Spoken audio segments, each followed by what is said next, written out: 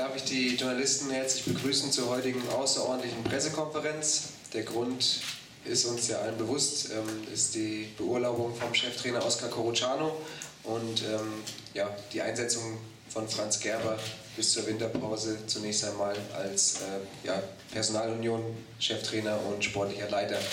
Ähm, ich darf noch unseren Präsidenten entschuldigen, Ulrich Weber hat heute leider einen wichtigen Termin gehabt, den er nicht mehr verschieben konnte. Der ist heute nicht dort, also nicht äh, anwesend. Aber ähm, Johannes Baumeister ist auch im Raum. Also falls es da noch Fragen, ähm, die über das Sportliche hinausgehen, geben sollte, dann können Sie sich auch gerne an ihn noch wenden.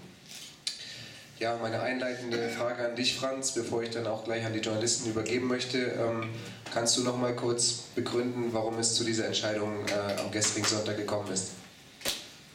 Ja gut, wir waren ja gestern äh, zusammengesessen, die gesamten Gremien des Vereins, also Vorstand, Aufsichtsrat, Geschäftsführung, haben über die momentane Situation äh, sportlich natürlich äh, gesprochen.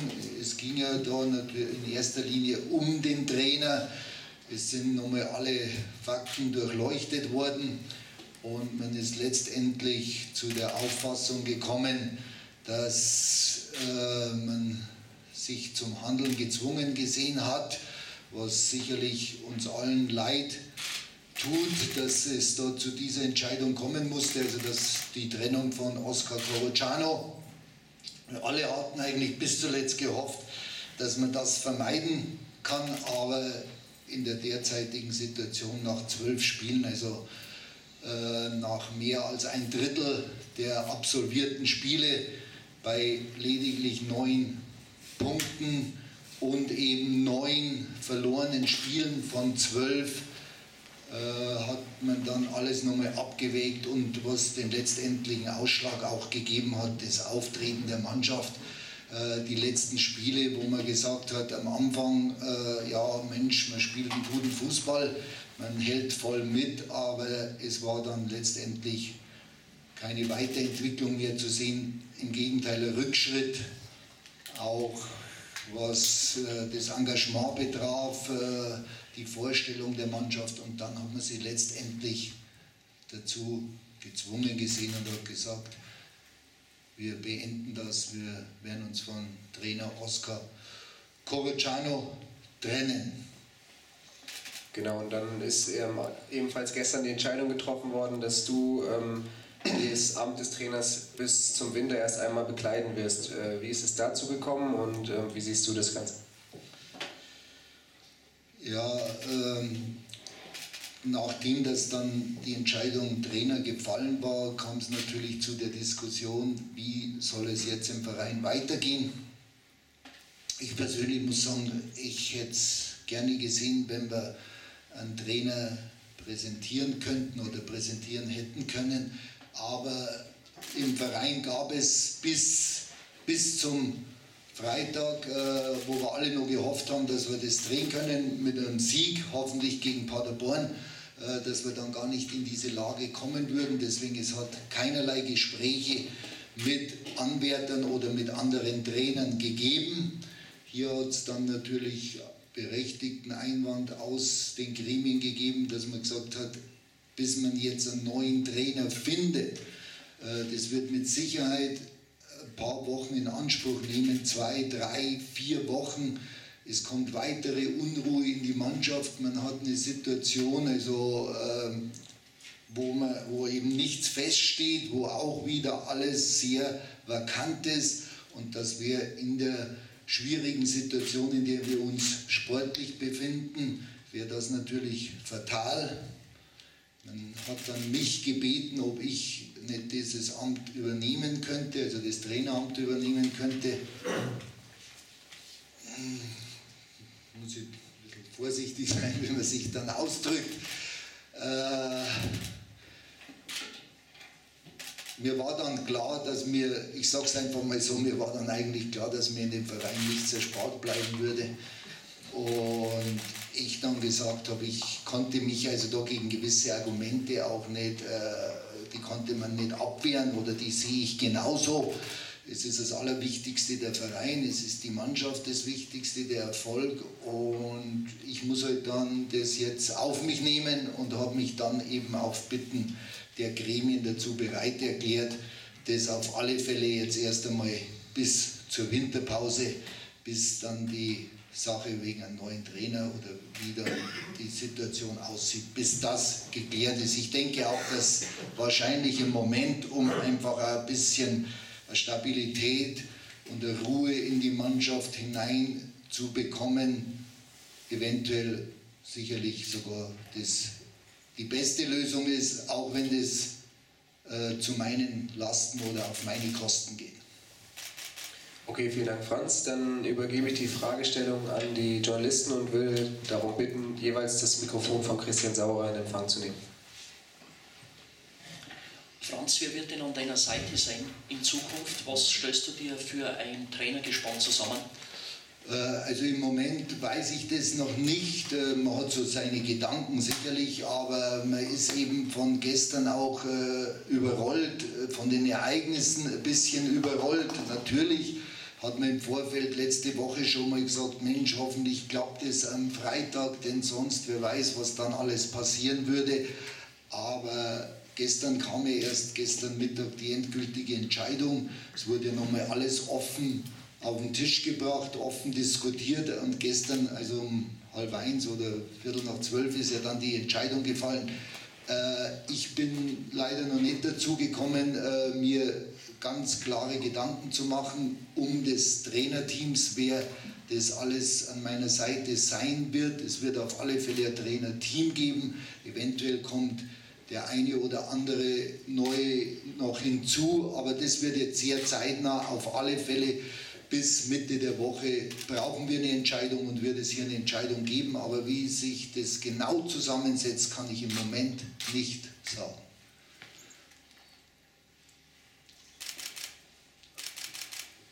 Herr Gerber, Sie haben eben gesagt, äh, erst einmal bis Winter. Ist es aus Ihrer Sicht überhaupt aufgrund der Doppelfunktion auch als sportlicher Leiter für Sie nachvollziehbar ähm, oder äh, vorstellbar, nach dem Winter dann vielleicht auch noch weiterzumachen, wenn es gut läuft? Ja, jetzt, das können wir einfach mal auf uns zukommen lassen. Äh, dann müsste man sicherlich, äh, wenn das äh, sehr gut läuft, was wir uns alle wünschen, was allerdings auch sehr, sehr schwer werden wird, denn ich meine, ich bin ja auch kein Zauberer, der jetzt kommt und äh, bei einer völlig verunsicherten Mannschaft, das hat ja jeder gesehen, nur einfach die Hand auflegt und dann klappt alles. Das wäre schön, aber wenn es natürlich klappen würde, dann wird man sich da dann könnte man sich da nochmal zusammensetzen, auch wieder mit den Gremien. Und es ist dann sicherlich einfacher, anderweitig dann eine Veränderung herbeizuführen und zu sagen, okay, warum soll man dann das nicht belassen? Aber das ist im Moment gar nicht durchdiskutiert, auch gar nicht angedacht. Wir gehen jetzt einfach mal die nächsten fünf bis sechs Wochen mit vollem Engagement an diese Aufgabe heran, an die Mannschaft heran und einfach versuchen, äh, hoffentlich noch zu retten, was nur zu retten ist. Es kann einfach nur das, die Hauptaufgabe sein, denn wie gesagt, äh, es sind nicht nur die Niederlagen oder die Punkte, die wir nicht auf unserem Habenkonto haben, sondern das Auftreten der Mannschaft. Da muss man ja kein absoluter Fachmann sein oder kein Wahrsager. Es ist anscheinend einiges im Argen. Die Mannschaft hat durch die Niederlagen gelitten. Man sieht es einfach an dem Auftreten, denn das war ja schon mal ganz anders. Da, sie hatte auch teilweise gute, begeisternde Spiele, wo jeder sich voll identifizieren konnte und das war eben zuletzt nicht mehr der Fall und da weiß man, das ist dann natürlich schwierig, äh, dann das wieder umzukehren, wenn es einfach mal in diese Richtung gelaufen ist und deswegen darauf konzentrieren wir uns und nicht zu sagen, was wäre, wenn in fünf Wochen oder in sechs Wochen oder oder. Da hat man dann in der Winterpause nach dem letzten Spiel genügend Zeit, um das dann zu sondieren und da die richtigen Entscheidungen zu treffen. Denkst du, dass gegen Ingolstadt schon die Wende kommen könnte? Wir werden alles versuchen die Wende herbeizuführen, vor allen Dingen auch vom Auftreten der Mannschaft her herbeizuführen. Wenn das dann im Punkte gipfelt, ist umso schöner und umso wichtiger. Aber Ingolstadt wird natürlich sehr, sehr schwer, weil die einen sehr guten Lauf haben, eine sehr gute Mannschaft haben, über ganz andere Möglichkeiten verfügen wie wir. Wir müssen jetzt einfach mal sehen, dass wir in die Spur zurückfinden, dass wir die Woche gut arbeiten, an vielen Dingen arbeiten, um dann eine gute Voraussetzung für den Sonntag zu hoffentlich zu schaffen.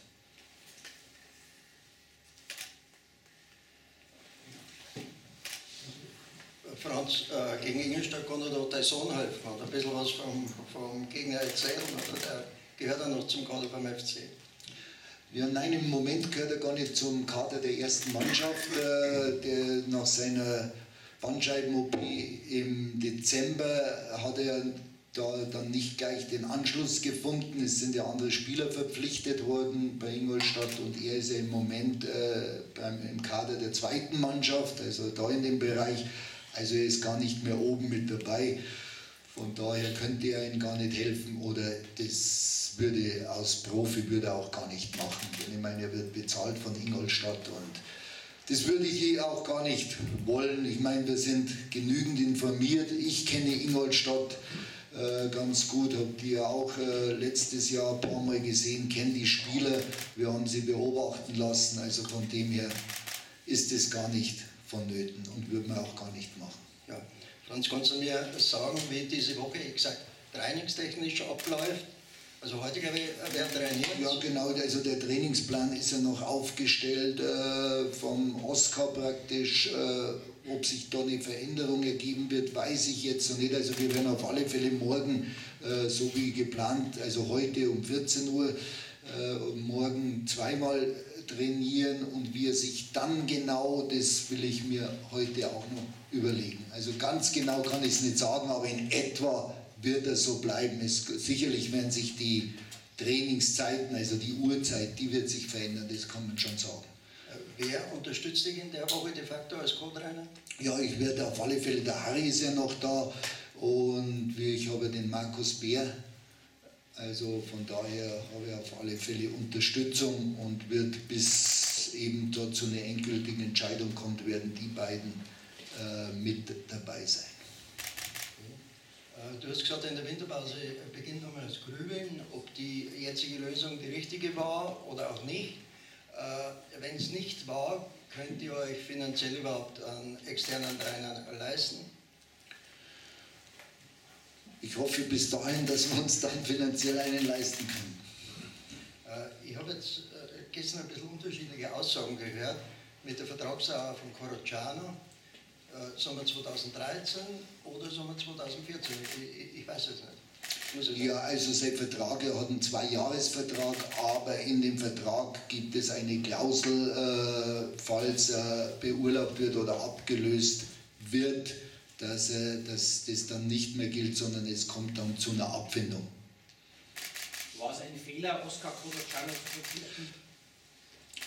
Ich glaube nicht, dass es ein Fehler war, denn ich meine, wenn man Revue passieren lässt, äh, wir, es war ja das Anforderungsprofil vom Verein nach Markus Weinzel, nach einem jungen Trainer, wieder einen jungen Trainer zu holen, äh, ihm die Chance zu geben und sich da zu entwickeln. Wir haben dann in erster Linie natürlich ich äh, sehr genau Ausschau gehalten, wer am besten in dieses Profil reinpasst und wem man am ehesten dann zutraut, diese sicherlich schwierige Aufgabe, das war uns ja alle bewusst von Anfang an, dass das eine sehr schwere Aufgabe werden würde, äh, wem man das am ehesten zutraut. Man hat sich dann für den Oscar entschieden aufgrund Eintracht Frankfurt, seine Spielphilosophie, äh, wie er in gewisser Weise das Ganze auch in Frankfurt angegangen ist und ich denke, am Anfang, wenn man sieht, wir haben ja gute, tolle Spiele geliefert, wo wir leider nur die Punkte liegen haben lassen, wo wir auch Pech hatten. Und bis zu dem Zeitpunkt hat man sagen können, Mensch, das sieht gut aus. Es sind ein paar Dinge vielleicht nicht ganz so gelaufen, wie es vielleicht laufen hätten sollen. und wie gesagt, es kam eine gewisse Portion Pech dazu, aber letztendlich hat es jetzt nicht funktioniert, das muss man ganz klar sagen, also sonst hätten wir uns ja nicht getrennt, aber direkt als Fehler will ich es nicht bezeichnen, denn es war von vornherein so äh, geplant mit einem jungen Trainer, mit einem Trainer, den wir uns auch finanziell leisten können, denn ihr wisst ja auch alle, was, wenn man einen bekannten, einen namhaften Trainer geholt hätte oder holen hätte würde, dann wäre es sehr, sehr teuer gekommen, was für uns gar nicht machbar gewesen wäre. Es waren ja vier, fünf äh, Verstärkungen gehobenes Zweitliganiveau angekündigt. Äh, jetzt in den letzten Spielen waren auch noch Stammspieler verletzt. Äh, ist die Mannschaft vielleicht einfach auch zu schwach für die zweite Liga? Auch hier wissen wir um unsere finanziellen Situation, um unsere Möglichkeiten. Das hatten wir ja auch von vornherein immer gesagt. Der Verein wird nur das ausgeben, was er hat. Man wird hier nicht in ein Risiko gehen und womöglich trotzdem absteigen. Sie Karlsruhe, Sie Aachen, die ja mit namhaften Spielern, mit gestandenen Spielern abgestiegen sind und jetzt oder Rostock dann finanziell vor dem Ausstehen oder genauso wie es uns ja in der Vergangenheit ging. Wir haben ja hier einen Verein gehabt, der ja eigentlich schon gar nicht mehr am Leben sein hätte dürfen. Und da haben wir gesagt, wir gehen dann nicht dieses Risiko ein, dass wenn schon dann womöglich trotzdem ein sportlicher Abstieg kommt, dass hier der Verein wieder in Frage gestellt ist, in der Existenz bedroht ist oder vor einer Insolvenz steht. Deswegen war ganz klar, wir geben nur das aus, was wir haben. In diesem Rahmen haben wir immer gesagt, wir werden versuchen, den ein oder anderen gestandenen Zweitligaspieler noch zu uns zu holen. Das ist aus verschiedenen Gründen, wirtschaftlichen Gründen, äh, Imagegründen, also Stellenwert des Clubs leider nicht gelungen. Wir haben ja praktisch nur den Christian Rahn verpflichten können, dann noch zu der Zeit, auch zu der Zeit, wo Oskar schon mitgewirkt hat, da war ja Oskar auch schon da. Ja auch mit ihm zusammen diese Entscheidung oder die Verpflichtung getätigt worden ist, genau wie Wiesmeier oder Kamaruaka. Und wir wussten, es muss natürlich alles passen und stimmig sein, um in dieser zweiten Liga, in dieser sehr schweren zweiten Liga mit Köln, Kaiserslautern und so weiter bestehen zu können. Und daran hat sich nichts geändert. Wir müssen natürlich in jedem Spiel 120 Prozent bringen und wir müssen natürlich sehen, dass wir von Verletzungspech und großen individuellen Fehlern verschont bleiben, um diese schwere Aufgabe hinzubekommen. Das haben wir immer gesagt, das war jedem bewusst. Und hier hat man auch immer, ist man ganz offen damit umgegangen und hat auch von Anfang der Saison gesagt, ein Abstieg muss einfach, damit muss gerechnet werden. Also das ist jetzt nichts Neues. Aber wir wären gern bereit, weiteres Geld in die Mannschaft zu investieren, in den Sport zu investieren, wenn wir es denn haben. Wenn irgendjemand bereit ist und sagt, oh, ich kenne jemanden, oder es kommt jemand und sagt, ich habe hier so und so viel Geld, das können wir nun mal investieren, der ist herzlich willkommen und das könnte man sehr, sehr gut gebrauchen. Ansonsten hat sich an der Philosophie des Clubs auch in der schwierigen Situation bis jetzt nichts geändert. Franz, äh, ist es nicht teurer abzusteigen, als wieder ein bisschen in die Mannschaft äh, zu investieren? Nächstes Jahr gibt es angeblich, äh, glaube ich, sogar 2 Millionen Fernsehgelder mehr, also weiß nicht genau. Müsste doch teurer sein. Ja, also Abstieg, wir natürlich in jeder Hinsicht auch vom Stellenwert des Clubs, vom Image, jetzt hat sich, bildet sich hier was auch im im Fanbereich, in der Unterstützerszene, in der ganzen Stadt, äh, hat man ja gemerkt am Anfang auch, was für eine Euphorie ist.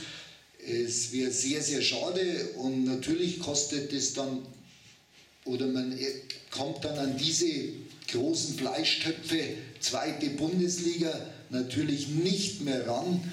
Aber es ist natürlich auch keine Garantie, wenn man jetzt 200.000, 300.000 Euro einfach Schulden macht oder in ein Risiko geht, gibt es ja auch leider keine Garantie, dass man dann in der Liga bleibt.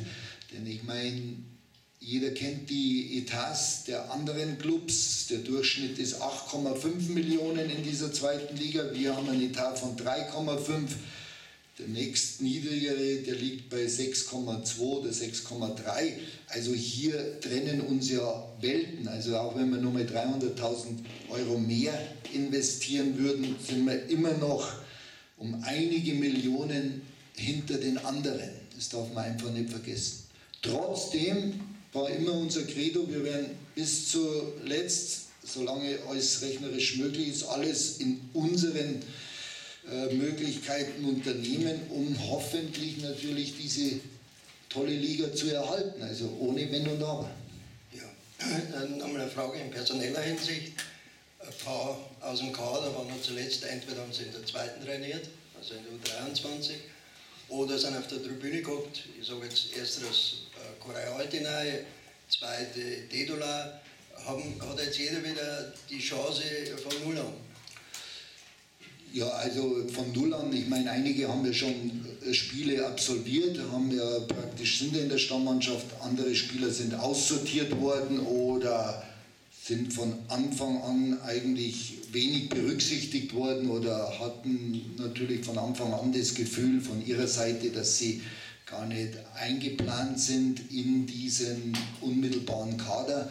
Das werden wir jetzt auf alle Fälle ändern. Also es wird jeder wieder erstmal mit dazustoßen, äh, wird jeder die Gelegenheit bekommen, sich äh, zu zeigen, sich zu präsentieren, also im Training, äh, in der täglichen Arbeit sich zu präsentieren und aufzudrängen.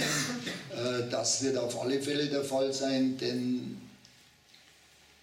es sind ja oft auch Spieler, die habe ich geholt und äh, ich habe die ja nicht geholt, um denen das schöne Regensburg zu zeigen, sondern man hat sich ja von den Spielern auch in gewisser Weise was versprochen, also auch von jungen Spielern, wo man allerdings von Anfang an gesagt hat, wenn mit denen gut gearbeitet wird und dementsprechend äh, ständig mit ihnen gearbeitet wird, vielleicht ist es zu schaffen, aufgrund ihres Talents und Potenzial, die in die zweite Liga zu führen. Aber das musste man noch sehen. Aber viele, der eine oder andere Spieler ist ja dann da jetzt nicht mehr dabei und jetzt wird er einfach die Gelegenheit erhalten, sich zu präsentieren und zu sagen, Mensch, seht her, ich glaube, ich bin in der Lage, hier äh, zweite Liga zu spielen.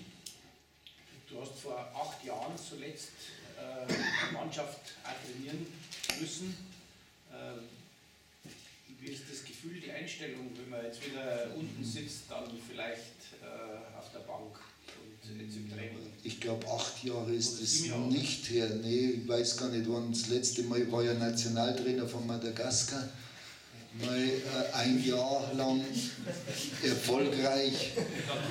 Und ich weiß gar nicht, wann das war. Das ist aber erst fünf Jahre her. Ich habe gestern noch geschaut, 2007. 2007, also Du hast jetzt gedacht, ich komme 2015 hierher, hast du gedacht, oder weil du acht Jahre gesagt hast. Das war, das ja, die wir da erfolgreich bestanden haben, genau. Nein, also ist es nicht so lange her, aber es ist schon eine gewisse Zeit her. Das ist richtig, vier Jahre oder viereinhalb Jahre ist auch eine gewisse Zeit. Es wird ja für mich schnell mal wieder gewisse Umstellungen geben. Und vor allen Dingen, was jetzt sehr unangenehm ist, dass es jetzt gerade in der Winterzeit wieder ist als im Sommer, ist mir sowas lieber.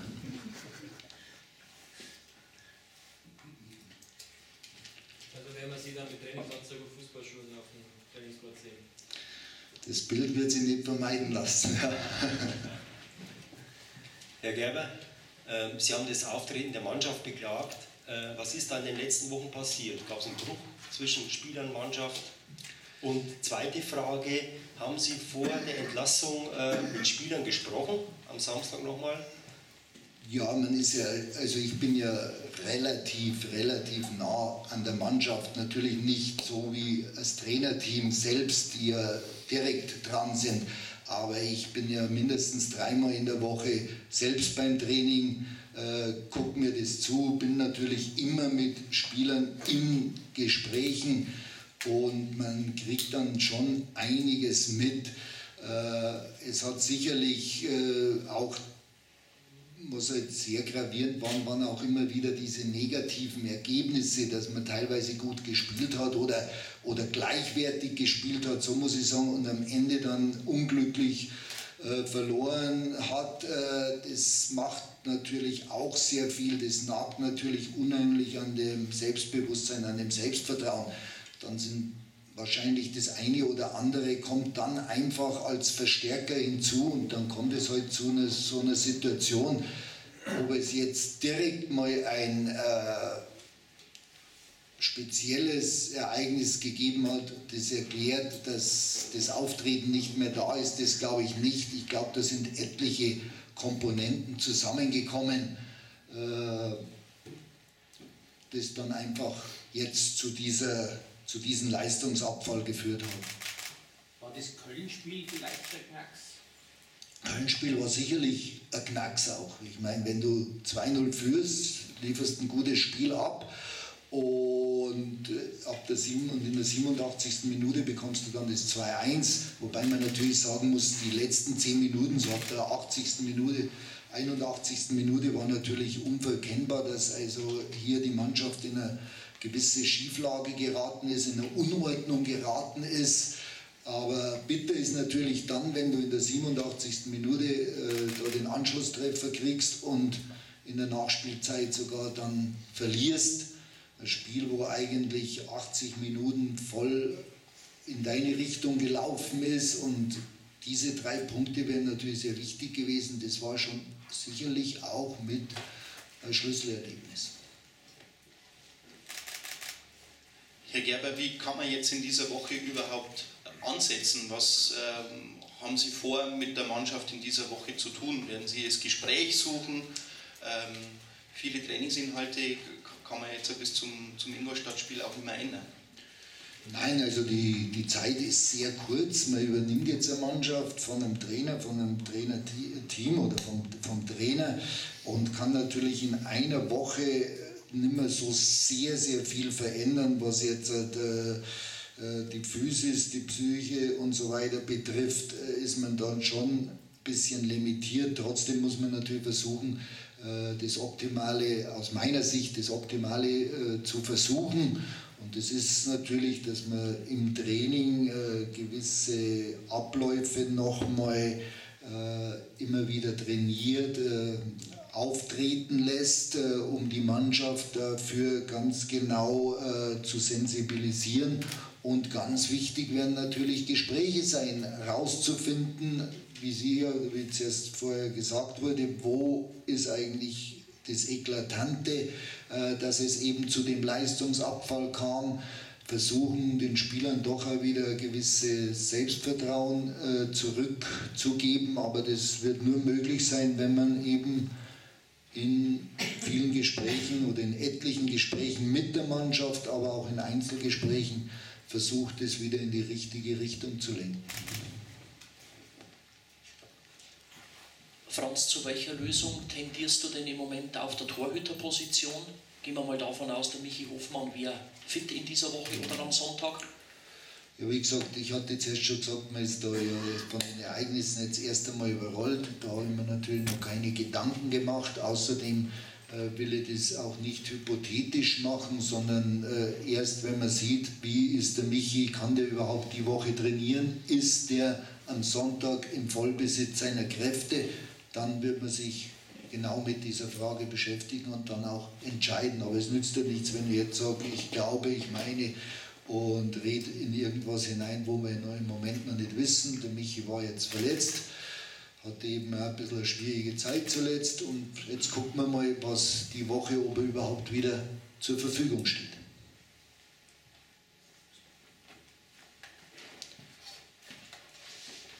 Gibt es noch weitere Fragen? sehe, das ist nicht der Fall. Dann bedanke ich mich für das heutige Erscheinen und für Ihr Interesse und wünsche noch eine schöne Woche. Franz, dir alles Gute. Dankeschön.